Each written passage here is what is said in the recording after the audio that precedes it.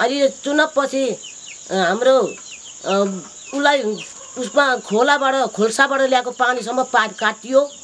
त्यो पानीसम्म हामीले बस्तुलाई त मान्छेलाई त परे जाओस् बस्तुलेसम्म खान पाएन। लुगा धुनसम्म पाइएन। टाढाको पानीमा जानु परेको छ हामीले दुःख भइरहेको छ हामीलाई। पानी छैन हाम्रो हाल यो छ सुकिरहेको छ छैन। केही छैन। उहाँहरूकोले सेवा गर्नुपर्नेमा हामीलाई चाहिँ यस्तो हाहाकार हाकाकुल अवस्था उहाँले बनाउनु भयो। जब यो चुनाव भइसकेपछि राजनीति कुरोले हो कि या आफ्नै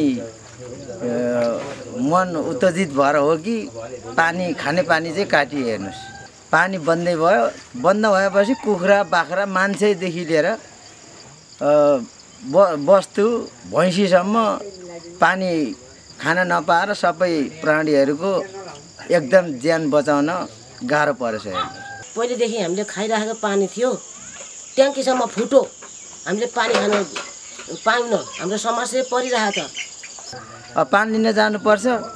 पानी लिएर आउँदाखेरि बिसाएर घर आइपुग्दा एक बिहान लाग्छ हेर्नुहोस् अब एकजनाले एक घ्याम्पा पानी बोक्न त सकिँदैन। सक्छ क्षमता अनुसारले कसैले जर्किनमा बोकेका हुन्छन् कसैले जम्मूको डिउको बोतलमा बोकेका हुन्छन् कसैले गाग्रीमा बोकेर ल्याएर यसरी व्यवहार पानीको काम चलाइराखेको छ। तर गाह्रो छ हेर्नुहोस् त्यो पनि।